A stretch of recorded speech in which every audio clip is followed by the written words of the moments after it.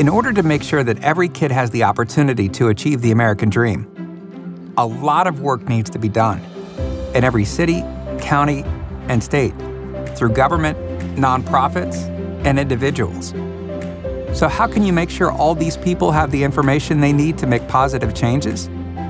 Data. Big data. When insights from data reveal a problem, it's harder to argue with and easier to address. And if you can make that data accessible and easy to understand, people who write laws and individual families can make decisions that increase their chances of achieving the American dream. Opportunity Insights, a nonprofit organization at Harvard University, used U.S. Census and tax return data for over 20 million Americans over a 30 year period of time. Talk about big data. From that, they created an online, interactive map that shows all kinds of amazing information on every neighborhood in America, like estimated income as adults of kids who grew up there and more. Having all of this data available for free means local governments can look at this map and find the areas that are most in need of their help, and then talk to that community to see how to help.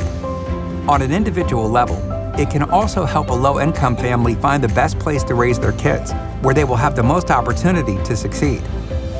When we know more about a problem, we can better address it.